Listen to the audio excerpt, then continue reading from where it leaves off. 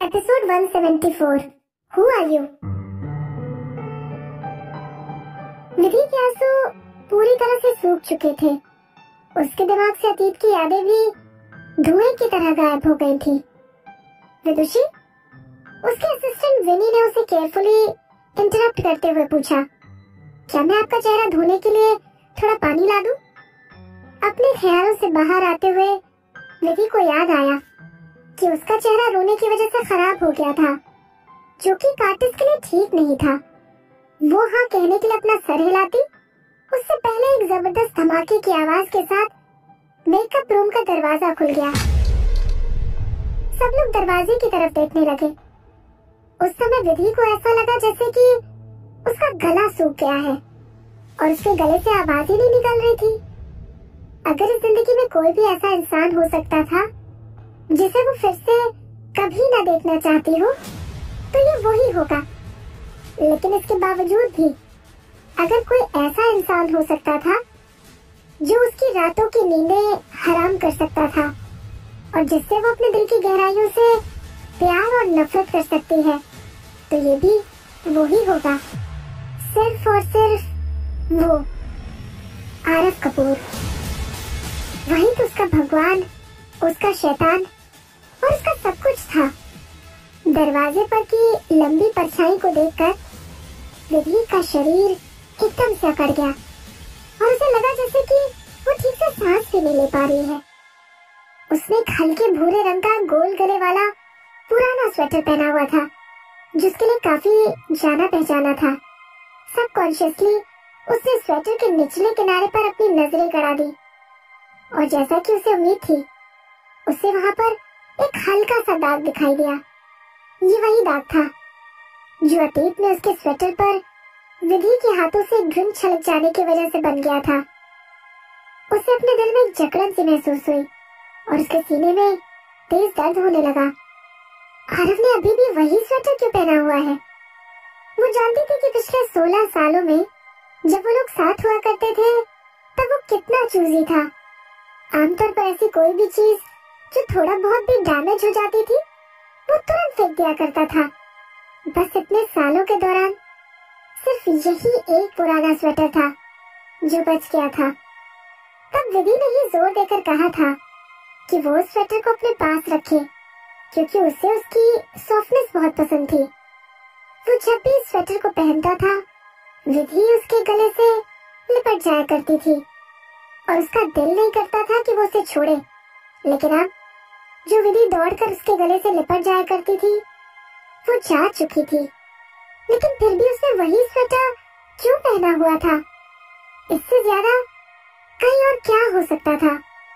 आरफ public areas में इस तरह के कपड़े पहनकर कभी भी नहीं जाता था। जब भी वो अपने घर से बाहर निकलता था, तब वो हमेशा एक फॉर्मल सूट में होता था, जिसमें उसका रियल चार्म दिखाई देता था। लेकिन आरफ इस समय काफ़ी बिखरा हुआ लग रहा था। क्या ऐसा हो सकता है कि आरफ क्या तुम घर से बहुत जल्दी में निकले थे? लेकिन किसके लिए? उसने खाली खाली आँखों से उसकी तरफ़ देखा। तभी उसने मुक्ति के आश्चर्य में डूबी हुई आवाज़ सुनी। आरफ भाई, आप यहाँ क्यों आए हैं? क्या आप मुझे लेने आए थे?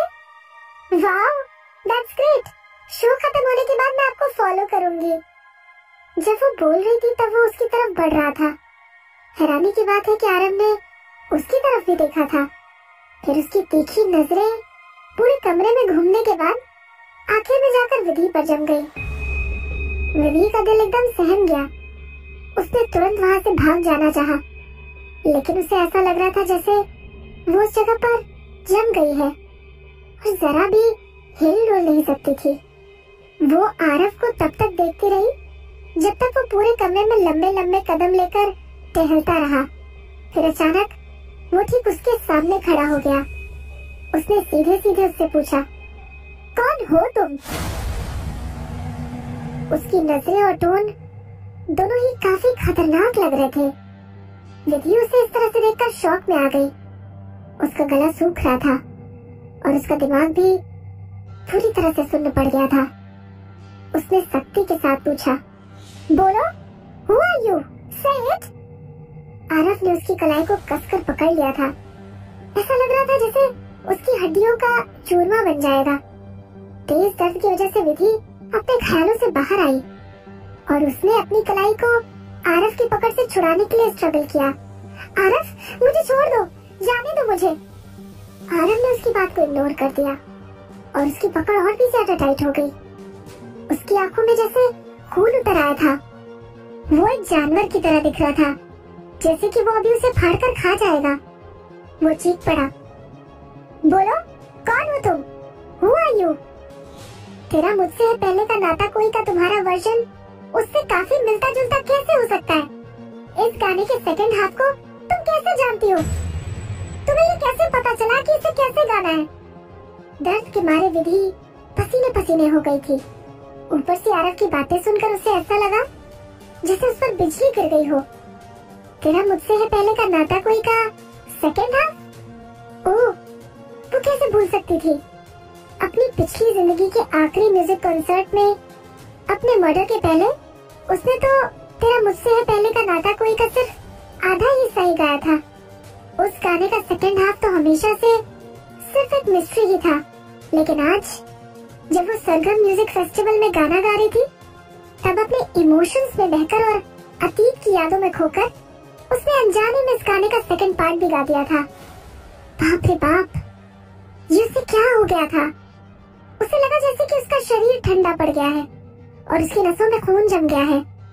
आरव ने उसे मेकअप काउंटर पर ले जाकर काफ़ी प्रेशर डालकर पूछताछ की।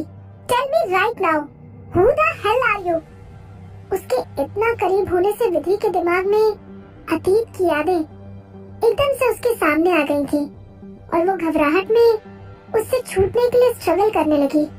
आरफ, मुझे जाने दो। मुझे जाने दो प्लीज़ मैं कोई भी नहीं हूँ, मुझे जाने दो। छोड़ो मुझे। It hurts please let me go Aaraf को वापस खींचने के लिए उत्कर्ष आगे बढ़ा। सर काम डाउन ये वेवे डांस की तरफ़ से मिस विदुषी शर्मा है। ये वो इंसान नहीं है जिसे आप ढूंढ रहे हैं। आरफ उसकी बात से जरा भी कन्विंस नहीं हुआ। और ऐसा लग रहा था जैसे कि वो उसे ज़िंदा ही निकलने के लिए तैयार है। उसने चिल्लाकर पूछा, बोलो, तुम इस गाने के सेकंड पार्ट के बारे में कैसे जानती हो? उत्कर्ष ने कहा, वो मैं था. हाँ इट वाज मी मैंने ही उसे म्यूज़िक और लिरिक्स दिए थे. उत्कर्ष ने आरव को वापस खींचने के लिए अपनी सारी ताकत लगा दी थी। असलियत तो ये थी कि उत्कर्ष भी एकदम हैरान हो गया था। उसने उसे लिरिक्स नहीं दिए थे। और वैसे भी, उसके और आरव के अलावा कोई भी ऐसा नहीं था जो उस गाने के सेकंड हाफ़ के बारे में जानता हो, क्योंकि वो टॉप सीक्रेट था।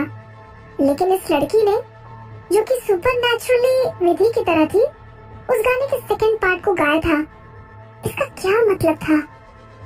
उसके सामने जवाब एकदम साफ़ था।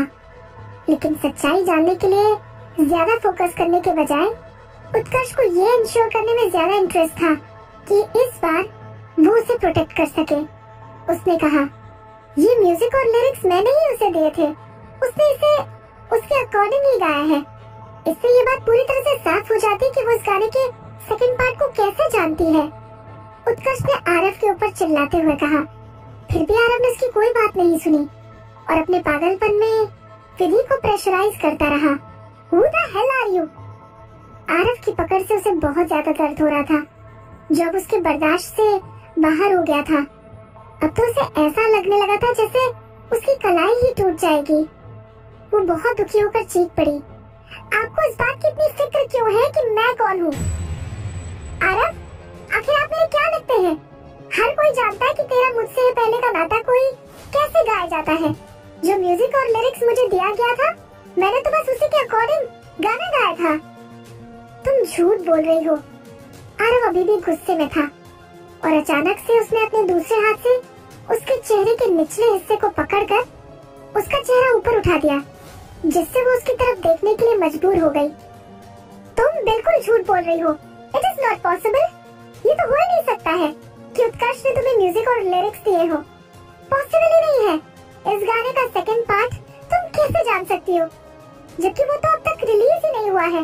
बताओ मुझे, ये कैसे पॉसिबल है कि तुम इसे अपने आप पूरा का पूरा गा सकती हो? बोलो। Who in the world are you? शायद एक उम्मीद या फिर वो तकलीफ़ थी कि जो उसे इतने लंबे समय तक मिस करने की वजह से पैदा हुई थी। आरव ने ये मानने से साफ़ मना कर दिया कि उसे म्यूज़िक और लिरिक्स उत्कर्ष ने दिए थे। वो अच्छी तरह जानता था कि यह सब करना एकदम बेकार था, लेकिन फिर भी वो एक अलग तरह का जवाब सुनने का इंतज़ार कर रहा था। आरव का गुस्सा उस पर समंदर की लहरों की तरह बरसने लगा।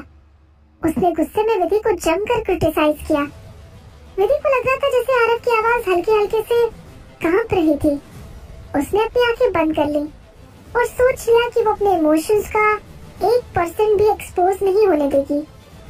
उत्कर्ष की आवाज़ में उसकी चिंता साफ़ छलक रही थी। उसने कहा, सर प्लीज़ पहले से जाने दीजिए।